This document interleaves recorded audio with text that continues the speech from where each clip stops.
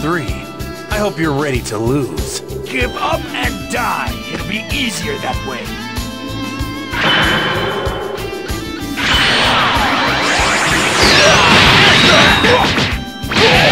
Let's get this started.